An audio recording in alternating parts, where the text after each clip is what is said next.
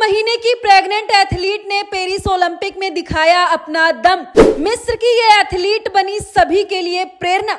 महिला एथलीट के इस खुलासे से हुए सभी लोग हैरान। सोशल मीडिया पर वायरल हुआ महिला का पोस्ट फ्रांस की राजधानी पेरिस में ओलंपिक खेल चालू है और तमाम देशों के खिलाड़ी अपना शानदार प्रदर्शन दिखा रहे हैं। विश्व के इस बड़े इवेंट पर सबकी नज़रें भी टिकी हुई हैं। ऐसे में पेरिस ओलंपिक में कई घटनाएँ सुनने को मिल रही है। इसमें से एक ऐसा खुलासा है जिसने सभी को हैरान कर दिया है। बता दें कि मिस्र की महिला तलवारबाज नाडा हावेज ने पेरिस ओलंपिक में हिस्सा लिया था और आपको जानकर हैरानी होगी कि वह टूर्नामेंट के दौरान प्रेग्नेंट थी। जी हाँ इसके बावजूद भी उन्होंने टूर्नामेंट में हिस्सा लिया और एक मुकाबलों में जीत हासिल करने में भी कामयाब रही।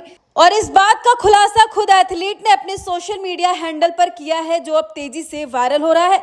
बता दें कि महिलाओं की तलवारबानी प्रतियोगिता के टेबल ऑफ़ 16 में दक्षिण कोरियाई खिलाड़ी से हारने के बाद नाडा हाफिज ने इंस्टाग्राम पर एक पोस्ट शेयर किया, जिसमें उन्होंने एक बड़ा खुलासा किया।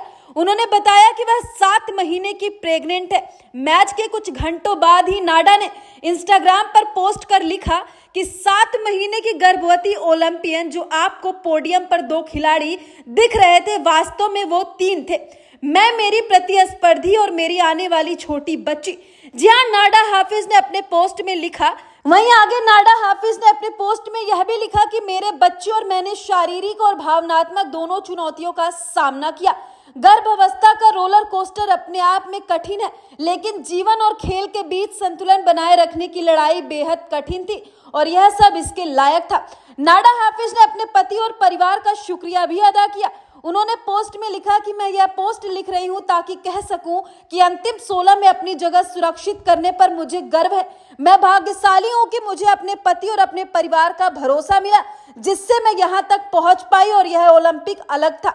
जी हाँ तीन बार ओलंपियन, लेकिन इस बार एक छोटे ओलंपियन को साथ लेकर नाडा हाफिज ने टूर्नामेंट के दौरान अमेरिका की एलिजाबेथ टाटा कोवस्की को 15 में से 13 के अंतर से हराया था। हालाँकि नाडा हाफिज अपने अगले मुकाबले में दक्षिण कोरिया की जियोन हयांग के हार गई हालाँकि नाडा हाफिज अपने अगले मुकाबले में दक्षिण कोरिया की जियोन हयांग से हार गई और वहाँ उन्होंने पंद्रह में से सात शिकस्त का सामना भी किया। यह तीसरी बार था जब नाडा ओलंपिक में खेल रही थी।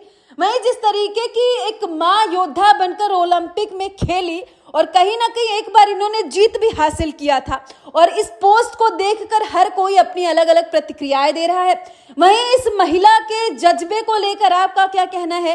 कमेंट में जाकर ज़रूर बताइएगा।